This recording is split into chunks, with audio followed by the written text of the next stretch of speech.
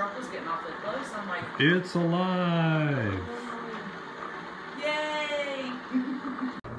Yep, it's still alive. I put a switch on it so when it's hanging on the wall, we can flip it off. Or, got this.